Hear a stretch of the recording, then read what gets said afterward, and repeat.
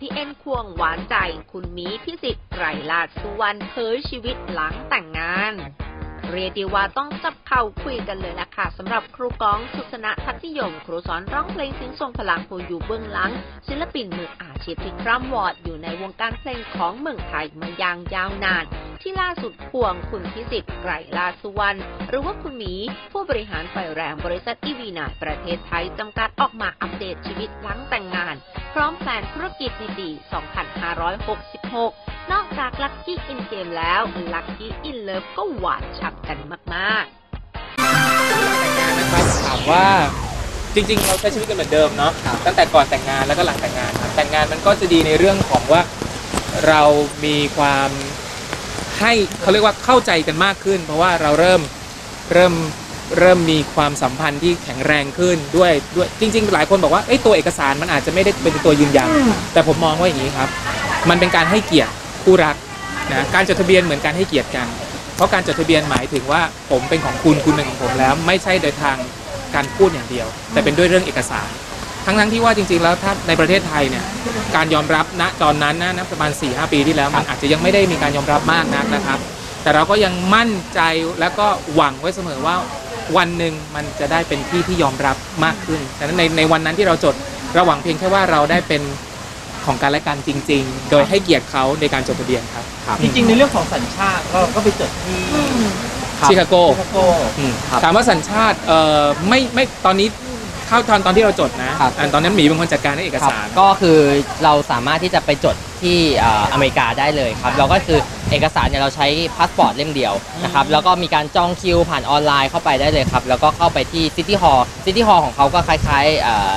ศูนย์ราชการประเทศไทยนะครับก็เข้าไปจดทะเบียนได้เลยครับ แล้วก็มีการนัดวันเข้าไปแล้วก็ เอ่อผู้ที่ทำพิธีให้ครับก็จะเป็นผู้พิพากษาครับ อืม ก็คือไม่ยุ่งยากอะไรเลยไม่ไม่ยุ่งยากไม่ยุ่งยากเลยครับ สามารถที่จะทำได้ง่ายเลย แล้วก็เขาก็เวลคัมให้สำหรับนักท่องเที่ยวก็สามารถไปทำได้ครับใช่ ต้องบอกว่าไม่จำเป็นต้องถือสัญชาติอเมริกา ครับ ใครก็ได้ที่มีความรักกันแล้วรักกันจริงๆนะฮะเขาก็จะไปจัดการแค่เดิมเดินเอกสารแค่นั้นครับแล้วก็เดินเข้าไปเขาก็ทำพิธีให้ทั้งหมดครับ จริงๆชีวิตที่หายไปจากวงการเกี่ยวกับการร้องเพลงในหลายๆปี ก็คือไปอยู่เมืองนอกเลย ใช่มีไปไปมามาต้องบอกว่าผมจะใช้วิธีอยู่เมืองนอกประมาณ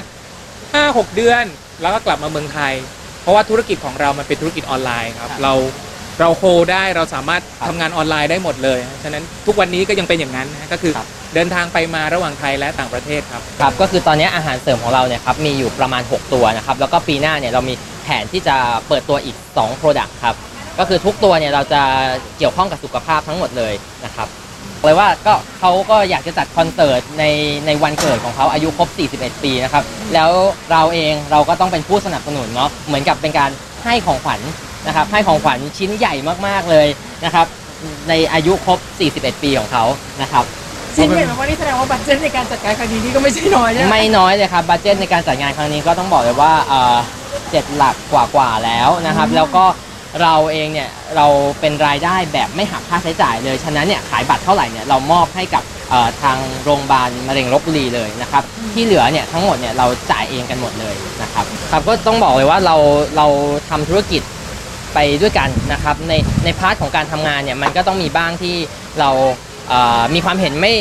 ลงตัวกันนะฮะแต่ว่าเราก็อาจบกันแค่เรื่องงาน ส่วนเรื่องส่วนตัวเนี่ยเราก็ใช้ชีวิตตามปกติครับในการทำธุรกิจของเราเนี่ยเราเหมือนกับเราเลี้ยงลูกหนึ่งคนนะครับลูกของเราเนี่ยมันก็ค่อยๆเติบโตขึ้นอย่างวันนี้ลูกของเราอายุ7ขวบแล้วนะครับ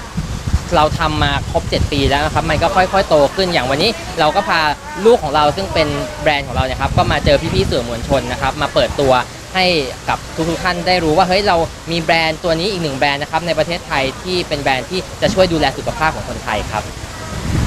ฝากให้ฝากไงผลิตภัณฑ์ดีๆหรือว่าถ้าใครสนใจ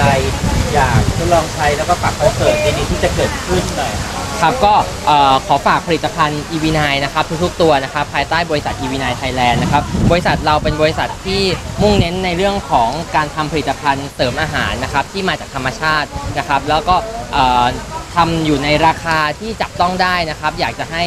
คนไทยทุกคนนะครับได้มีโอกาสทดลองครับ ยังไงฝากคอนเสิร์ตครั้งนี้ด้วยนะครับสำหรับครูก้อง and Friends Charity Concert นะครับจัดวันที่ 29 มกราคมนะครับที่โรงละคร M Theater นะครับที่เพชรบุรีนะฮะเริ่มสตาร์ตตั้งแต่ 1 ทุ่มเป็นต้นไปจนถึงประมาณ 3 ทุ่ม4ทุ่มได้นะฮะตอนนี้นะครับ บัตรเราจะจัดจำหน่ายที่ Thai Ticket Major ทุกสาขาสามารถซื้อได้นะครับทางออนไลน์นะครับ โอเค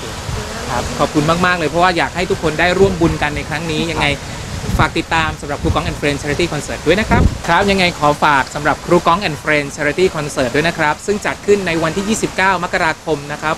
ที่โรงละคร M Theater เพชรบุรีนะฮะ